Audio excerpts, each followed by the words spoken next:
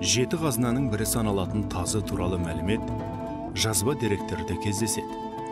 Махмұд қашқаридің диуани лұғат ат түрік сөздігінде тайған сөзіне тазы алғырит деген анықтама берілген. Қазақ жерінде тазының тұқымы сонау сақ заманында болған оған дәлел тасқа қашалып салынған суреттердегі тазыға ұқсас иттердің болуы бұл шамамен екі жарым мың жыл бұрын бейнеленген таңбалар.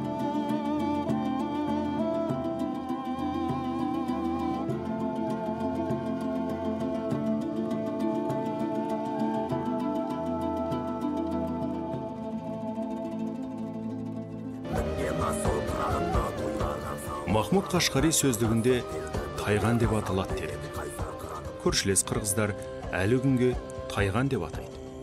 Өзге түркі халықтары тазы немесе тази дейді.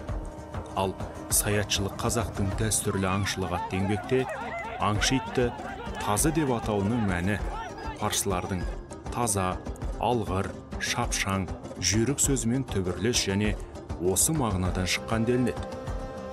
Ал ел арасында құмайтазы туралы ол сарала қаздың жұмыртқасынан жаралады. Керемет батыл әрі шапшаң болады дейтін аңыз әңгімелер бар. Ол жайында әбубәкір дибаев сәкен сейфуллиндер жазып қалдырған. Бұл ә, тазының тазы деп аталуына қатысты ә, әркім әртүрлі дерек айтады. Біреулер бұның тазалығына қатысты ә, тұқымының жалпы өзінің дегдарлығына қатысты таза деген сөзден шықты дейді. Ал енді ә, енді біреулер мынау италағаздың жұмыртқасынан яғни құмайдан шыққан деп айтып жатады. Ал шындығында құмай деген сөз қазақ үшін ең жүйрік аң әлемде гепард. Гепардтың таза қазақша баламасы. Сондықтан сол әлемдегі ең жүйрік аңға бағалауының өзі бұл тазының шынайы құндылық екенін көрсетеді. Тазының тазалығы тазының бір таза. Адамға деген бір сенімді ол да иесіне сенімді. Қанша аңға барған кезде де ол иесі болмаса аңға түсе қоймайды. Міне толық жүгіруі де одан тазының бір сымбаттылығы да әдемі. Жаның ертіп жүрсең де намазға дәрет алып келіп тазы сүйкенсе де дәреті бұзылмайды дейді ғой. Сондай қазақта бір сөз бар. Ол бір екіншілігі екіншісі тазы өте тек дейді. Онша көп сұғанақтығы жоқ. Менің иттерім бәрі өзі машинаға отырады машинадан түседі айтқанын істейді тілі жоқ байқұстардың әйтпесе адамдай.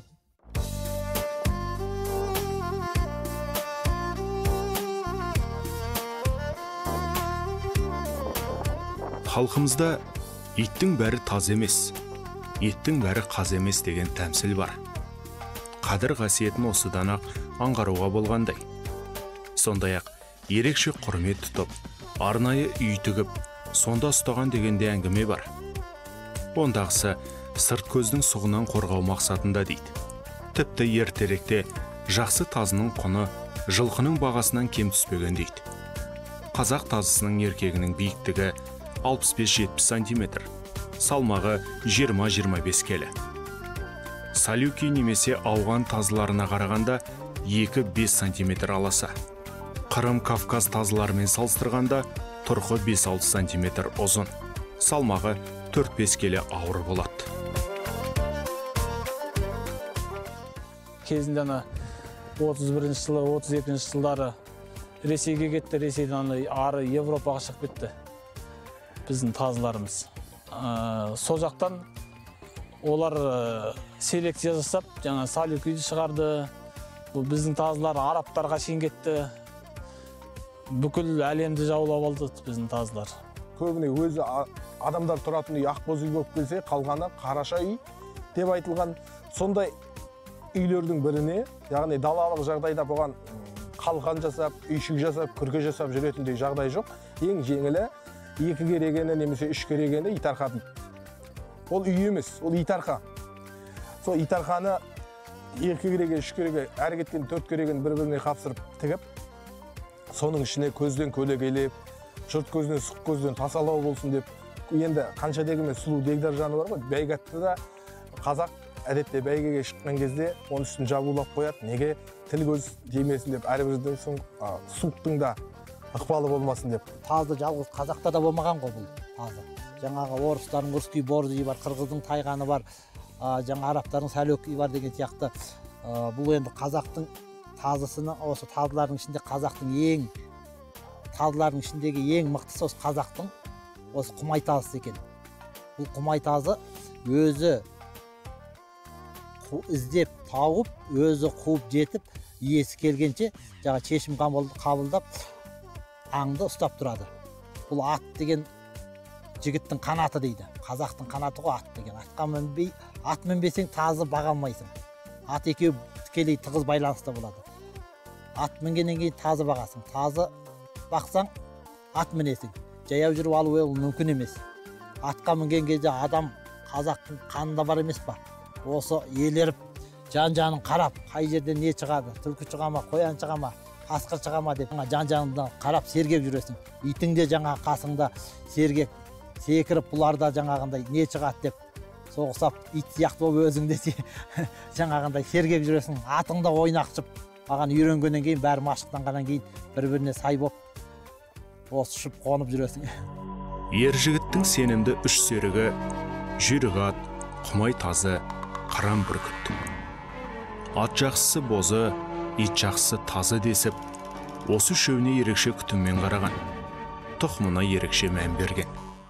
Сөздің тура мағынасында ақ тазының алғаннан қара тазының шалынғаны қызық деген сияқты ақ тазы ақ түсті мына қылаң түсті тазылар көп жағдайда аңды қуып жеткен кезде жанынан жанынан шалып алады. Ал қара тазының алғырлығы шалымдылығы сондай. Жетер жетпестен тек қақпа қылып іліп тастап отырады. Алдыңғы аяқпен өзі жүгіріп бара жатып алдыңғы аяқпен іліп тастап отыратын. Сондай шалымдылығына қатысты берілген баға деп білемін Ә, енді бұл тазының қазақ танымындағы қазақтың фольклорындағы қазақтың әдебиетіндегі бір алар орны ғой. Дәл сондай орны болмаса қазақ оны мақалдатып тілге тиек етіп сөзге қоспас еді. Бұрын ата баба айтқан ғой ә, жарымадым тазының жарғағына деп. Бұл мына шашақ құлаққа қарағанда жарғақ құлақ өте сергек оның үстінен бұл жүйрік келеді екен. Ә, жарғақ құлақтың несі? Айырмашылығы мына аяғының мына нелерінде мынандай түктері болмайды. Сонан кейін бұл ана қарда жүгірген кезде тоқтаусыз түлкіні қуалайды. Қуалаған кезде ана мынаған мына шашақ құлақтың мына арасына мұз қатып қалады да тоқтап қалады. Сонда мына жарғақ құлақта жоқ болғандықтан бұл тоқтаусыз жүгіреді. Бір екі түлкі қашқан екен дейді. Баяғы аңыз ғой енді ата бабаның айтып кеткен сонымен жаңағы қашып келе жатқан түлкі бір біріне айтып жатыр дейді. Артта қуып келе жатқан тазы жарғақ па екен шашақ па екен деп. Шашақ болса шатып бітіп құтылармыз енді. Жарғақ болса жанғанбайтын қылдық деп жаңағы түлкі қашып бара жатыр дейді. Сондай қызықтар аңыздар болған екен. Мұндайда аңшылар шашағалар алмас жарғақтан жан қалмас дейді екен. Яғни жарғақ құлақ тазы ерекше бағаланады. Сондай ақ тазыларды тұқымына қарап құмай тазы құны тазы дүрегей тазы қайың қаптал тазы деп те атайды. Таралу өлкесіне территориялық ерекшелігіне қатысты да атаулары бар. Сібірлік түркістандық немесе таулық далалық деп аймағына жеріне қарай бөледі. Дала тазысының кеудесі мен бөксесінің биіктігі бірдей. Өте жылдам сүйегі жеңіл нәзік болғандықтан қазақтар оны ши тазы деп те атайды. Ал тау тазысының бөксе жағы биік аяғы сіңірлі мойны жуан болады бұлар қасқыр аулауға бейім. Жарғақ тазылардың мына алдыңғы ә, сирақтағына тырнақ бекітетін жіліншіктері бар емес па солардың күштілігі сондай бұл. Байлауда тұрғанда да үйшікте тұрғанда да тырнағының үстіне басып тұрады. Бұның ерекшелігі сонда. Қазақтың танымындағы қазақтың ә, жырындағы аңызындағы жарғақ тазының сипаты бөлек. Егер мысалға жаңа ә, шашақ құлақ тазын сырттан деп айтты дедік қой. А жарғақ құлаққа қазақ сырттан деп айтпаған құбарлан деген. Яғни құбарлан деп деген сөз бұл сыр бойының жырауларының бір екінің бірінің демей ақ қояйын. Жоқ дегенде бір қырық елу пайыз жыр термесінде құбарлан деген сөз кездеседі. Осы құбарлан сөзінің түбірін негізін қазбалаған кезде бізге ә, таныс болған бізге кездескен дерек яғни ол тазының нақ жарғақ құлақ тазының арланына сырттанына алғырына жүректілігіне жүйріктігіне қатысты айтқан екен. Бұл да біздің қазіргі танымнан жойылып бара жатқан сөздің бірі. Аңшылық дәстүрде тазымен немесе бүркітпен саятқа шыққан адам жол жөнекей бөгде кісімен ұшырасса бірден байлансын ақ деп айғайлайды екен. Ал бұл сөзді кездескен жолаушы бірінші айтса аңшылар майлы шұжық айлансын ақ деп жауап берген. Бұл көлденең кезіккен адамның тіл көзі тазы мен бүркітке тимесін деген ниеттен туған. Бұл да бүгінде ұмытыла бастаған дәстүрдің бірі. Сондай ақ кәнігі аңшылар тазының болмыс бітіміне қарап оның алғырлығын білген. Жүйрік тазының төс сүйегі кең кеуделі болып төсі төмен салыңқы келеді. Сондықтан олар жатқанда дұрыс жата алмайды. Балық кеуде болады да төс сүйегі жер тіреп жатқызбайды. Бұл тазының жүрегі үлкен екенін көрсетеді. Жүрегі үлкен жануар ұшқыр болады. Ептілігінде бұлар мысалы мысалы төбеттерде бар. Мысалы жүгіре алатын төбеттер де бар. Мысалы үйдің жанынан келіп жататын болса жаңағы қасқырға жабыса кететін. Бірақ оларда жаңағы ептілік болмайды да қасқыр да оңай емес қой. Оның бәленбай тісі бар опырып жібереді ал бұлар жаңағы боксер сияқты ғой. Атака жасайды епті ұстатпайды өзін. Өзінің ерекшелігі сода бұл неде. Әйтпесе ойлайсың мынандай арық таздан қандай бір қалай жеңіледі олар деп. Олар сол жан жерлерінен шабынан тірсегінен құлағынан ұстап тұрады бір тазы. Қасқыр жылқы сияқты құлағынан ұстағанда тырп ете алмай қалады екен. Сол құлағын ұстап тұрған кезде сөйтіп басқа иттерге мүмкіндік көп тамақтауға жаңағы тірсегін шабын бұтын айырады. Аңға түсу үшін әрине әуелі күтім керек. Бүркіт сияқты тазы иттің де қоясын түсіру деген болады. Қоя дегеніміз жеген тамағынан жүн дұрқасынан иттің асқазанында түйіншектің түйіліп қалуы. Оны түсірмесе ит жүгірмейді. Сармайға немесе тоң майға аттың қылын орап жұтқызады сонда ит қоясын тастайды. Кейбір тазылар көк шөп жеп өз қоясын өздері түсіретін сәттер де болады жазды күні енді бұлар тұрады жілік майын толтырамыз бірінші сосын қоясын түсіреміз қоясын түсірген деген кәдімгі сары май өзіміздің сары майды аттың қылына ұсақтап турап сары май береді ішіндегі өкпесіндегі асқазанындағы қоясын түсіреміз оны же- жегізу үшін ашықтырамыз біз әдейілеп үш күн солай екі күнде ол жей қоймайды үш күн ашыққаннан кейін аш қалпында береміз де сары майды жаңағы қоясын түсіру үшін. Керемет бір әсер алатын кездер болады. Ә, ұшып бара жатқан қоянды мысалы жете алмай қалғанда қапыда қаласыз қоясы түскен ит бабы келген ит жетеді оған. Тазыны баққанымда енді қасқыр деген нәрсеге мысалы ит баласынан ә, осы таз деген иттің ерекше түсетінін байқадым. Ә, сол үшін еркектерін бақтым. Ірілеу орташа ірілеуге ба- бағуға тырыстым. Енді осылардан кейін қазір бір ә, жаңағы ұрғашы тазы бағып жатырмын ол енді қалай болатынын болашақта көреміз жетелеп қосқан тазы түлкі алмас деген сөз бар. Бұл итті баулуға қатысты айтылған болса керек. Жалпы аңшы итті күшігінен тәрбиелейді. Бұрын аң қуып әбден машықтанған үлкен иттермен ере жүріп ауызданады. Әдетте тазы қашқан аңды көрсе бірден қууға әуес сол топқа ілесіп. Аңға тісі бір тисе кейін үйреншікті әдетке айналып кетеді. Үйрету бабы енді үлкен тазыларға ә, ілестіріп жаңағы жас тазыларды үлкен тазыларға ілестіріп бірге атпен шығамыз атпен шығып сол үлкен тазылармен бірге жүріп ол жаңағы бейімделеді далаға ә, жаңағы аңды қалай шалу керек соның бәрін сол үлкен тазылармен арқылы бейімделеді де. Ол жыл уақыт өткен сайын мысалы алты айынан бастап жүгірте бастаймыз. Уақыт өткен сайын ол тазы аң алған сайын әккілене бастайды. Опыт набирать етіп ол бір жарым жас екі жасына келгенде уже жалғыз өзі ә, қара жерде қоянды іздеп алып шығып алатын жағдай деңгейге келеді де тазылар. Аң таңдамайды жүректіліктері бұл енді қасқырға барғанда да мысалы қасқырды алатын тазыларда жүй- жүйрік болу керек. Қасқыр деген біреулер ойлайды мысалы қасқырды қуып жетіп ұстай саламыз деп. Түлкіде оңайшылықты алдырмайды қуалап жүріп қашып ары бұлтырады бері бұлтырады құйрығымен алдайды. Үлкен ит алданбай соған үйренгеніне байлайды қоянға физикалық заңы жүрмейді дейді ғой. Қоян қашып келе жатып бір орнынан бұрылады. Ол иттің иті алады мына белі қысқа ит қоянды көп алмайды белі ұзын ит қоянды алады ал белі қысқа иттер түлкіге неге көп алданбайды ол қоянға да белі ұзын бұрылады белі қысқа иттер бұрыламай түгі өтіп барып айналып келіп қуалап сөйтіп күшпен алады хатико деген киноны көпшілік жақсы біледі. Иесін күтетін ит жайлы. Қазақ даласында дәл осыған ұқсас оқиғалар көп болған дейді. Мысалы 1829 жылы белгілі би шеркеш жақсыбайұлын халық толқуына қатысқан үшін тұтқындалып текеге айдатқанда лашын атты бірге еріп қанша қуса да қалмапты. Түрме алдын бір жыл бойы күзетіп ақыры сібірге бірге кетіпті деген аңыз бар. Бұл әңгімені көнекөз қариялардың айтуы бойынша белгілі тарихшы исатай кенжалиев жазып қалдырған. Мұхтар мағауин ағамыздың тазының өлімі дейтін шығармасында сол бесқараның әйгілі.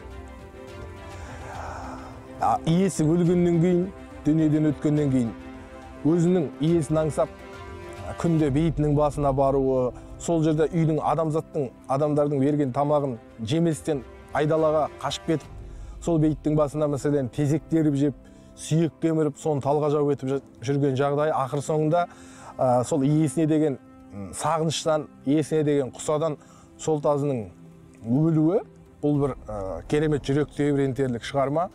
Ә, одан да бөлек ондай жағдайларды күнделікті өмірде де көріп жүрміз. Өйткені себебі бұл ә, жаңа сөз басында айтып өттім өзінің асырап баққан иесіне өте сезімтал өте бауырмал жануар.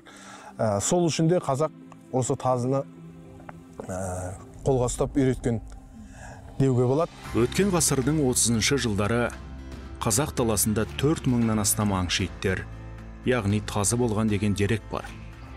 Орыстың статистика қызметкері слуцкийдің жазбасы бойынша. Ал бүгінде нақты санын дөп басып айту қиындау. Мыңға жетер жетпес болуы мүмкін дейді. Бұл ретте таза қанысын айтып отырмыз. Өйткені тұқым араласып кеткендер көп. Сол себепті тазы асыраушылар бас қосып жиналып тұрғанды жөн көреді. 2019 жылдың наурызында таз жарысын жасап сол жерде тазыларға бәйге тігіп одан кейін ауданға шығардым. Ауданда шәлкөде жайлауы дейді райымбек ауданында. Сол шәлкөде жайлауына мен түгел қазақстанға десем болады ит жарысы болады ә, деп сөйтіп таз жарысы деп атап жібердік шақыруға бірақ ол жерге қазақстаннан емес қырғызстаннан келді өзбекстаннан қазақстаннан жиналды елу бір ит қосты. Елу бір иттің жарыстырып сол жерде де үш орынға бәйге беріп жақсы. Содан кейін райымбек ауданында қазір жиырма сегіз отыз бала уже ит бағып жатыр таз иттері мұндай жарыстардың пайдасы өте зор. Таз асырайтын аңшылар бір бірімен танысады біліседі тәжірибе алмасады. Бір жерге шоғырланған сәтте арнайы мамандарды да шақыртып таза қанды тазыларды анықтап арнайы құжат алуға да септігі тиеді. Міне былай көрсетесің.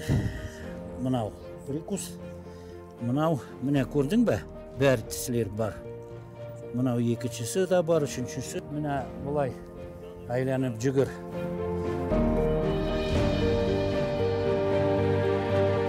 Правильного выхода и подстава ушами.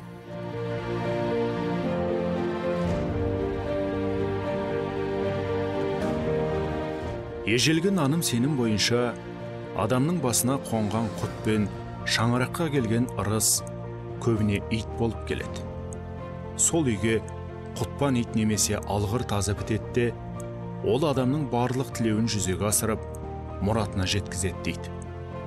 Таз иттің алғаш рет аң алуын тырнақ алды деп атап оның құрметіне ауылдастары жиналып қайырлы болсын айтып қуанышқа кішігірім той жасаған. Итті жеті ырыстың біріне балаған. Әдетте жақсы иттің күшігін алғанда қарғыбау ақысын беріп күшікке сүт жалатып алатын болған. Әйгілі тұқымның қарғыбауы да қымбатқа түседі. Сондықтан иттің шені қарғыбау деп оған дәулет дәрежесіне қарай қарғыбау ырым бар. Ырым болғанда былай мысалы күшік ит қаншық туған кезде мысалы өлекшін туады. Соны жолдас жорандары бар таныстары бар бәрі. Күшік сұрап келген кезде күшікті былай бермей бере салмайды да мысалы. Қарғы бауына дейді ол мысалы сізге бір шапан бере ма өзі біледі. Әйтеуір күшіктің қалаған нәрсесін береді. Адам мысалы тазыны қаншалықты жақсы көреді өзі соншалықты береді ғой. Мен өзім жеке басым бір кісіден күшік алсам мен қарғы баусыз алмаймын. Өйткені ит шырылдасып кетеді деген қазақтарым бар. Тазы күшігі жасқа толғанға дейін тамақты тойдыра беріп бағады. Ал бір жасқа толғанын үйіне толды деп атайды. Бұл кезде тазының дене бітімі сомдалып қайраты толысып ширыға бастайды. Қазақ тазыларында адамға тән түсінік қабілет болады дейді мамандар. Жалпы қазақы тазы туралы дерек өте көп. Бүгінгі әңгіме тек бір парасы ғана. Ең әуелі елдегі барлық тазыны тексертіп құжаттандырып әлемдік қауымдастыққа ресми тіркету. Сонда ғана қазақы тазының тұқымын сақтап санын көбейте аламыз. Ендігісі елдегі барлық тазыны тексертіп құжаттандырып әлемдік қауымдастыққа ресми тіркету. Сонда ғана қазақы тазының тұқымын сақтап санын көбейте аламыз.